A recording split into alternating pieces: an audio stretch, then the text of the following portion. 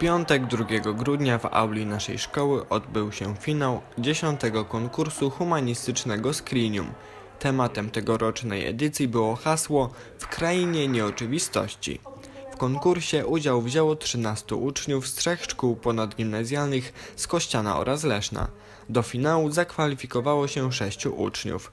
Daria Kowalczyk, Anna Ławniczak, Patrycja Michałowicz, Piotr Michałowski, Agnieszka Sodulska oraz Klaudia Ziłkiewicz.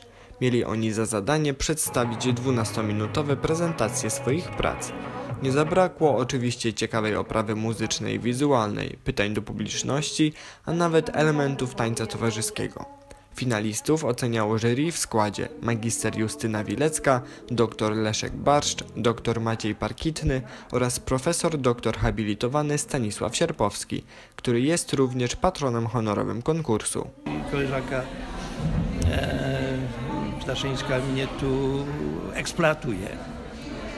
Eksploatuje mnie w sposób, który mnie zadawala, tym bardziej, że poziom jest różnorodny stosownie do tego, co uczniowie prezentują.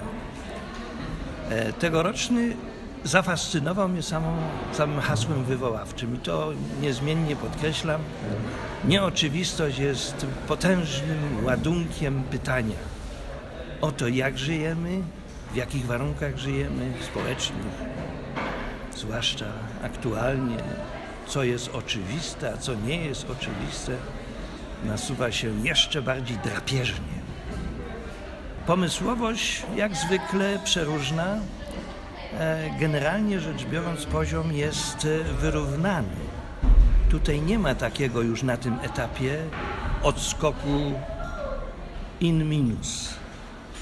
Drobiazgi skłaniają do powiedzenia, że ten jest o ciut lepszy od poprzedniego. I w tym sensie mój przyjazd i mój udział uważam za udany i potrzebny nawet.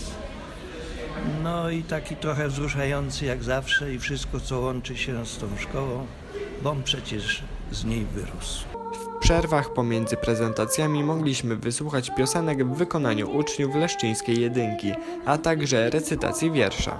Następnie wykład wygłosił dr Maciej Parkitny z Uniwersytetu imienia Adama Mickiewicza w Poznaniu. Laureatką konkursu została Anna Ławniczak, która zaprezentowała pracę zatytułowaną Motyw oniryzmu w wierszach Bolesława Leśmiana, a literatura science fiction. A nagrodę publiczności otrzymała Klaudia Ziłkiewicz za swoją pracę o zbrodni.